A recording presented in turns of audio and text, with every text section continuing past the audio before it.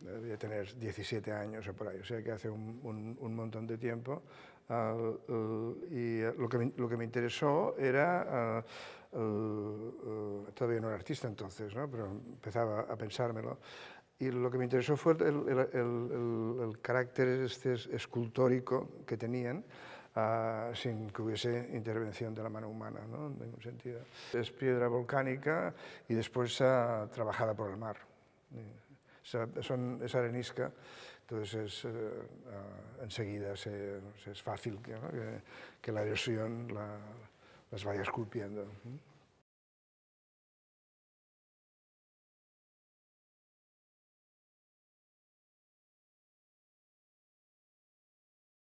Lo peor que se le puede hacer a, a un vestigio, del tipo que sea, a, es a, quitarle la pátina del tiempo.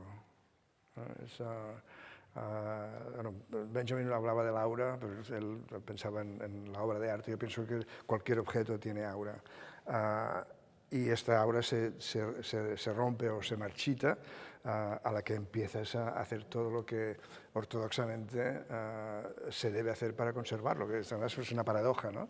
Eh, para conservarlo te cargas lo más importante, que es pues todo lo que ha dejado el tiempo en, el, en el objeto. Cuando estuve haciendo la, pieza del 11 de septiembre, cuando estaba fotografiando todos los objetos que estaban en el, en el hangar de, de JFK, allí estaba todo sin tocar.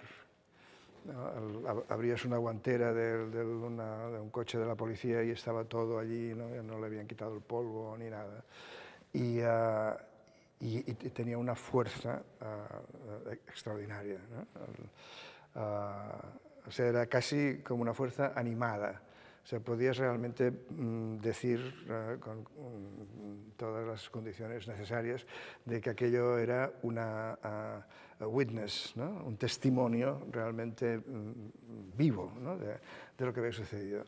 Uh, cuando se hizo la selección de todo lo que tenía que ir al museo, eh, cuando finalmente se construyó y se inauguró el, Museo del 11 de septiembre, que está en la zona cero, lo limpiaron todo le quitaron el, el, polvo aquel gris, que además es que era, era el, bueno, la, la marca ¿no? de, del 11 de septiembre, era aquel polvo gris, uh, que, que bueno, toda la gente que desapareció uh, estaba ahí, ¿no? o sea, la respiramos los que estábamos cerca.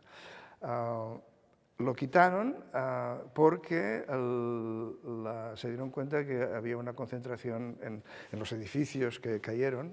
Uh, en aquella época todavía se utilizaba muchísimo amianto, que es carcinogénico.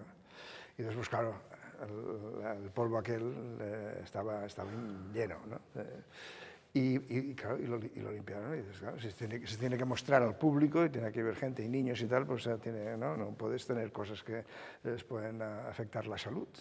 Pero claro, lo ves, ¿no? Con, con, después de haberle pasado el trapo, y es uh, sea, como si lo hubiesen matado, vaya, o sea, en el sentido de ha dejado de hablar, ¿no? se ha quedado mudo.